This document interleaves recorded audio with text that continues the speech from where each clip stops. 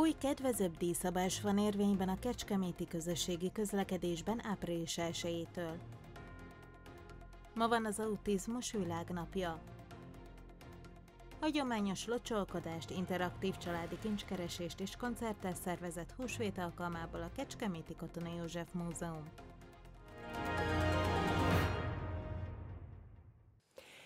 Jó estét kívánok, kedves nézőink! Önök a Kecskeméti Televízió híradóját látják kedden este 19 órakor. Új, kedvezőbb díjszabás van érvényben a Kecskeméti közösségi közlekedésben április 1-től. Az általános havi bérlet ára 5000 forintra csökkent, a diákok és nyugdíjasok pedig 100 forintért válthatják meg azt. A Kecskemét kártya felhasználói pedig további kedvezményekre számíthatnak.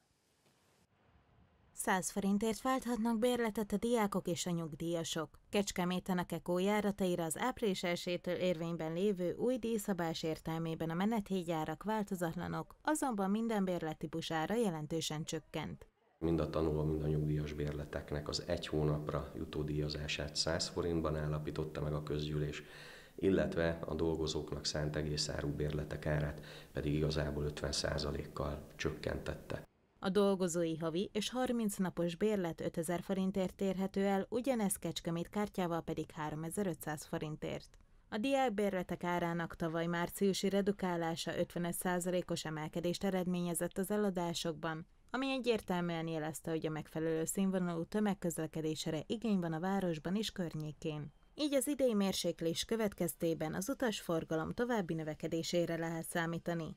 Abban bízunk, hogy így a városban található zsúfoltságot és a személygépjármű használatot tovább lehet csökkenteni, és hogyha nem csak mi gondoljuk így, hanem azok is, akik az utasaink, és egyre többen remélhetőleg utasaink lesznek, akkor közösen tudunk tenni azért, hogy a város levegője frissebb legyen, jobb legyen, és a közúthálózatunkon is a zsúfoltság minél nagyobb mértékben csökkenjen. A havi bérletek nem csak a Kekó járatain érvényesek, hanem továbbra is felhasználhatóak a MÁV egyes menetrend szerinti járatain és regionális autóbuszokon is.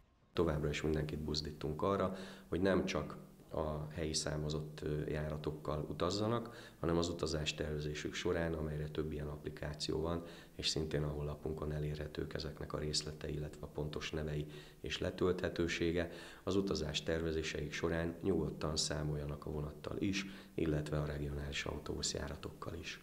Az utazóközönség már a második napon bővült, hiszen volt olyan kecskeméti diák, aki először utazott busszal az új bérleteknek köszönhetően. Sokkal több helyre így el tudunk jutni, főleg a fiatalság. Én nem sokat járok busszal, sőt ez volt az első buszozásom. Így most már sokkal több helyre fogok elmenni, főleg, hogy itt a jó idő. Mindig jártam így busszal, de most már szerintem sokkal többet fogok, mert így olcsóbb és szerintem gazdaságosabb is.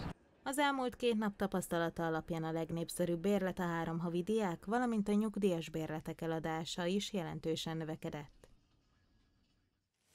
Ma van az autizmus világnapja. Az autizmus egy egész életen át tartó neurológiai állapot, amely általában a korai gyermekkorban jelentkezik. Kecskeméten is programokat szerveznek a világnap alkalmából, hogy kifejezzék szolidaritásukat az autizmussal érők iránt. Többek között kék fénybe borul a Városháza, a Ruszt József Stúdiószínházban pedig különleges előadás várta az érdeklődőket. 2007-ben az Egyesült Nemzetek Szervezete április másodikát jelölte ki az autizmus világnapjának. A világnap célja, hogy felhívja a figyelmet a tényre, száz emberből egy autizmus spektrumzavarban érintett, illetve hogy széles körű információt nyújtson erről az állapotról. Ma Magyarországon közel százezer autista él. Kecskeméten is minden évben különféle figyelemfelhívó programokat szerveznek a világnapon. Ezen a napon 19 órától 21 óráig kékbe borul a Városháza, a Kecskeméti Nemzeti Színházban adásunkkal egy időben a Ha megtapsolom a harangot című előadást láthatják az érdeklődők, melynek témája az autizmus spektrumzavarral élő fiatal felnőttek egymásétól is eltérő, sokféle és egyedi világ tapasztalata, kapcsolódásai, kapcsolódása külvilághoz, egy másik emberhez. Tavaly nagy sikert aratott a Bringauti jótékonysági kerékpáros teljesítménytúra, melynek bevételét a szervezők az Autizmus Centrum és a Csodabogár nappali intézmény javára ajánlották fel. Az Autista Gyermekekért Egyesület április 10-én délelőtt szervezi meg az autisétát a főtéren. Ma Kecskemét városa példaértékű minta az autisták elfogadásak tekintetében. Az országban egyedülálló a kecskeméti autizmus ellátórendszer folyamatos bővülése is. Kétféle ősi technikával készültek el a tojások szombaton a Népi Iparművészeti Gyűjteményben.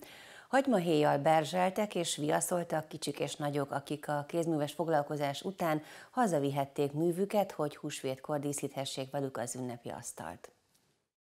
Ebben a teremben láthattok mindenféle tojásnak a kiállított darabjait. Minitárlattal fogadták a családokat szombaton a Népi Iparművészeti Gyűjteményben. Az egész délelőttöt annak szentelték a szervezők, hogy az aprók is, a nagyok is a húsvétre hangolódhassanak. A mini tojás kiállításon bemutatták a különböző magyar hagyományos technikákat azokon az alkotásokon, amelyeket a népművészek készítettek. Ezt követően vette kezdetét a kézműves foglalkozás. Két ősi technikával készültek a tojások, egyrészt a berzseléssel, majd a viasszal történő írással ismerkedtek meg a résztvevők. Vágó Piros, a Népi Iparművészeti Gyűjtemény kézműves foglalkozás vezetője a helyszínen elmondta, hogy a magyar hagyományban a leginkább elterjedt az úgynevezett írókás tojás, amit mély viasszal díszítenek, utána pedig festenek. Hagyományosan vörös hagymahéjban festették, most már mindenféle színnel lehet színezni, mondta Vágó Piros, aki azt is ismertette, hogy míg a nyugati országokban egyszínűek a tojások, addig Magyarországon hagyományosan nagyon díszes, színes,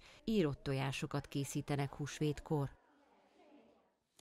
Második alkalommal szervezett húsvét alkalmából hagyományos locsolkodást, interaktív családi kincskeresést és koncertet a Kecskeméti Katona József Múzeum hétfőn. A Népi Iparművészeti Gyűjteménybe érkezőket kenyérlángossal, lekváros buktával és kürtős kaláccsal várták. Húsvét tematikában tettek fel kérdéseket a szervezők a családoknak hétfő délután a Népi Iparművészeti Gyűjteményben, melyekre elrejtve az udvaron találták meg a válaszokat.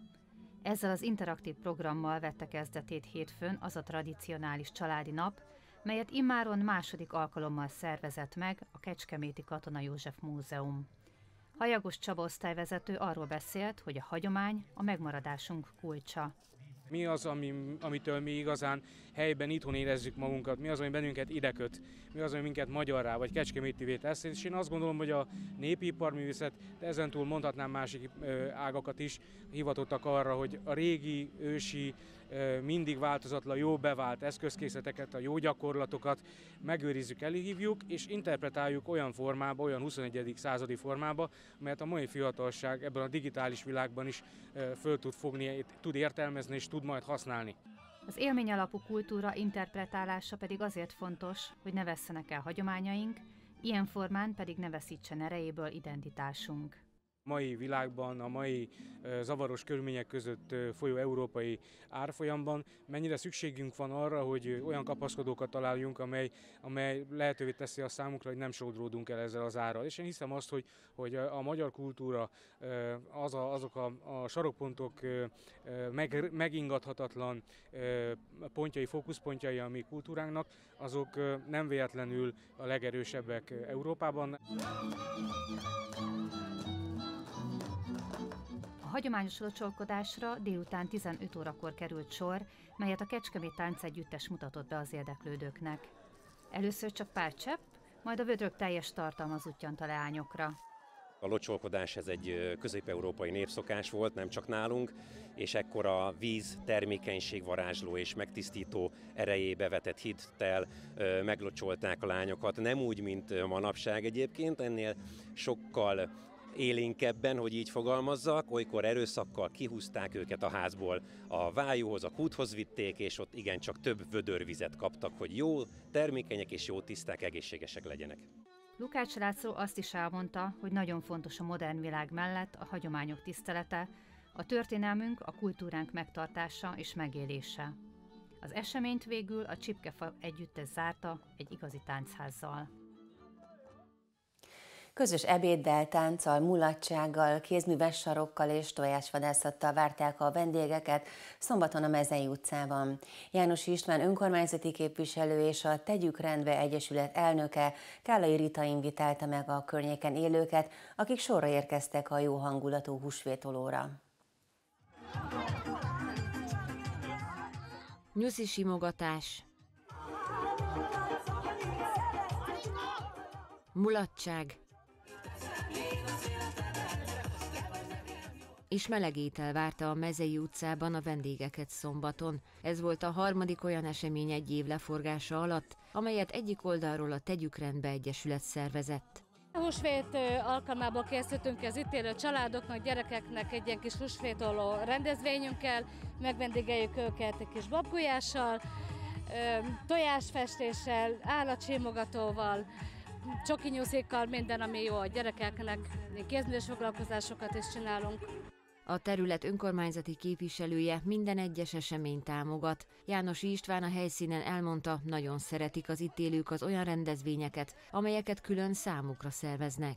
Próbáljuk a városnak ezt a részét is egy kicsit olyan szempontból is megközelíteni, hogy itt is a közösségekre helyezzük a hangsúlyt, és a közösségeket próbáljuk építeni, a közösségi programokat próbálunk szervezni, és hát ugye minden közösségnek azért az alapvető alapegysége a család és éppen ezért elsősorban családi rendezvényekben gondolkodunk. Ilyenre volt már példa az előző évben egy családi és gyermeknap, valamint egy adventi karácsony előtti Mikulás nap megszervezése kapcsán. A soron következő program a tervek szerint május 4-én lesz, akkor egy mezei utcai majális szerveznek az ott élő közösségeknek. Sikeresek voltak a Kecskeméti Vadaskert programjai, a hosszú hétvégén több mint 7000-en látogattak el az állatkertbe. A látványetetések mellett tojásvadászat, sok csoki és arcfestés is várta a gyerekeket. Csokoládét kapott minden gyermek, aki megtalálta az elrejtett tojásokat a Kecskeméti Vadaskertben vasárnap és húsvét hétfőn. Ezen a két napon ajándék arcfestést kaptak a vendégek. A hosszú hétvégén látványetetések sora várta a családokat, de a látogatók saját maguk is megetethették, például a lámákat vagy a csacsikat. Az állatsimogató folyamatosan tele volt, a nyusziknak és a kecskéknek is jó dolguk volt, mindig volt, aki ölelgesse őket. A négy nap igazán sikeres volt, ugyanis több mint 7000-en látogattak el a Kecskeméti Vadaskertbe.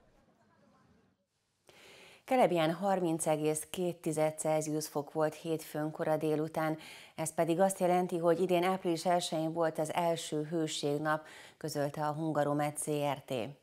Azt írták, az előzetes adatok alapján jócskán megdőlt az erre a napra vonatkozó melegrekord, és már is megvan 2024-ben az első hőségnap. Hőségnapnak azt nevezik, amikor a hőmérséklet csúcsértéke meghaladja a 30 Celsius fokot. Az erre a napra vonatkozó korábbi melegrekordot körmenden mérték 1989-ben, akkor április 1-én 27,7 fokot regisztráltak. Hétfő estére azonban viharossá fokozódó széllel érkezett meg a hideg front, írja az időkép. Az északnyugati régiókban volt, ahol már hirtelen 10 fokot, netán annál is többet zuhant a hőmérséklet. A hidegfront miatt egyébként fejfájás, migrén is előfordulhat, valamint ingerlékenyebb béké válhatunk. Egy személyautó csapódott a belső szalakorlátnak az M5-ös autópályán Kecskemét határában húsvét hétfőn. Helyszíni információk szerint a belső sávban Kiskunfélegyháza felől haladta a személyautó, amikor egy trélert vontató román jármű enyhén áttért a sávjába, ezért a gépkocsit vezető nő balra húzta a kormányt, hogy ne ütközzenek össze, de a belső szalakorlátnak csapódott. A személykocsit vezető nő kisebb zúzódásokkal megúszta a balesetet, de autójának kereke kiszakadt. A balesetet okozó trélert vontató román jármű sofőrjének a figyelmetlenségéhez hozzájárulhatott az is, hogy 32 fokot mutatott a hőmérő a strádán. Élő barokk címmel szervezett koncertsorozatot a Híros Agóra az evangélikus templomban. Az első előadást a feltámadás jegyében rendezték meg március 30-án a Kecskeméti Szimfonikus Zenekar és a Kecskeméti Énekeskör, továbbá két budapesti énekművész közreműködésével. Még tavaly született meg az elhatározás, hogy 2024-ben barokk hangverseny sorozatot indít a Híros Agóra rezidens együttesei, a Kecskeméti Szimfonikus Zenekar és a Kecskeméti Énekes Kör közreműködésével. A rendszerváltás óta nem volt példa arra, hogy helyi együttesekre építve hirdettek volna bérletet Kecskeméten. A sorozat megszületéséről Hollókői Huba karmester, hegedűművész, a Kecskeméti Szimfonikus Zenekar művészeti vezetője nyilatkozott televíziónknak. A barokk koncert sorozatot a zene szeretete hozta létre tulajdonképpen. Két kecskeméti együttes fogott össze, a Kecskeméti Énekeskör és a Híres Agóra fenntartásában működő Kecskeméti Szimfonikus Zenekar. A Stabat Mater koncert után gondoltuk úgy Erdei Péterrel, hogy ez egy olyan kellemes, jó hangulatú este volt, hogy ezt jó lenne folytatni. Az élő barokk hangverseny sorozat első előadását a feltámadásnak szentelték a szervezők. A programban elhangzott Heinrich Schütz Jézus hét szava a kereszten című műve, fővárosi vendégművészek közreműködésével. Jézus szólamát Szerdahelyi Pál, az egyik evangélistájét Komáromi Márton énekművész szólaltatta meg. Szólót énekeltek az énekkar tagjai közül többen is, így Papanet, Heimfart Márta, Horváth Zsófia, Yamaguchi Juto, Nagy Péter és Lengyel László.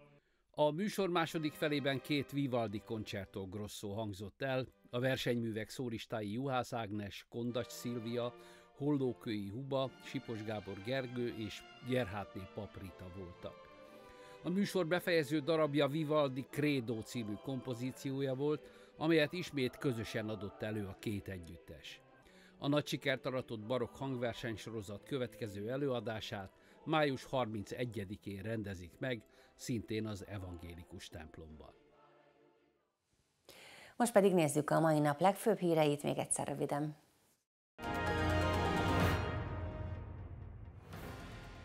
Új kedvezőbb díjszabás van érvényben a Kecskeméti közösségi közlekedésben április 1-től. Az általános havi bérletára 5000 forintra csökkent, a diákok és nyugdíjasok pedig 100 forintért válthatják meg azt. A Kecskemét kártya felhasználói pedig további kedvezményekre számíthatnak. Ma van az autizmus világnapja. Kecskeméten is programokat szerveznek a világnap alkalmából, hogy kifejezzék szolidaritásukat az autizmussal élők iránt, többek között kékfénybe borult a Városháza. Második alkalommal szervezett húsvét alkalmából interaktív családi kincskeresést és koncertet a Kecskeméti Katona József Múzeum hétfőn. A Népi Iparművészeti Gyűjtemény udvarán a hagyományos locsolkodásra délután kerül sor, melyet a Kecskemét Tánc Együttes mutatott be az érteklődőknek. Közös ebéddel, táncalmulatsággal, kézműves sarokkal és tojásvadászattal várták a vendégeket szombaton a Mezei utcában.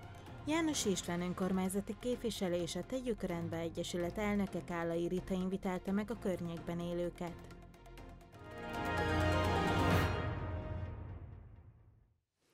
Önök a híres híreket, a Kecskeméti Televízió híradóját látták, következik a kiemelő. Mai magazinunkban Nemcsik Mátyás önkormányzati képviselővel és Zubor Melisszával, a Zöld Misszió csomagolásmentes bolt alapítójával beszélgetünk a szombatra szervezett csomagolásmentes napról. Ezt követően megmutatjuk, milyen volt a húsvét Kiskunhalason, végezetül betekintést nyerhetnek egy modellhajó bemutatóba is. Olvassák és nézzék hírportálunkat a cím híros.hu. A híros híreket 20 óra 45 perckor és 22 óra 30 perckor éjszaka a képújság idejében két óránként, valamint reggel 7 és 9 órakor ismételjük meg. Ezen kívül a kecskeméti tv.hu weboldalon bármikor ismét megtekinthetik. Én kollégáim nevében is megköszönöm, hogy ma este velünk tartottak. További szép estét kívánok viszontlátásra!